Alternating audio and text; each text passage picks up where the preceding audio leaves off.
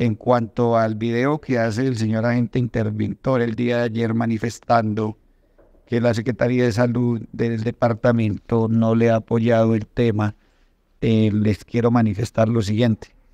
Ellos radican el día 25 de julio un documento para que se le haga trámite con el CODIS, el cual no viene con, con, con inconsistencias, viene mal redactado, viene, digamos, solicitando unos temas que no, que no son, digamos, desde el resorte financiero eh, posibles. Lo que hace la Secretaría de Salud Departamental es invitarlos a una mesa de trabajo eh, para apoyarlos y ayudarlos a corregir el documento que presentan con errores.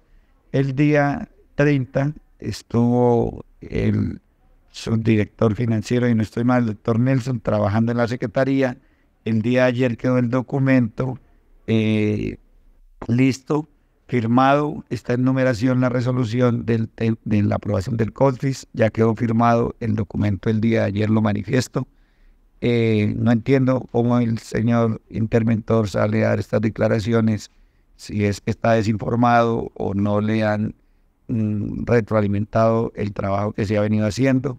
Eh, video el, que, el cual desde acá no, no comparto porque Hemos venido dándoles todo el apoyo desde la Secretaría de Salud Departamental al tema del Hospital Regional del Magdalena Medio. Muchas gracias y eso era la, lo que nos tenemos por notificar.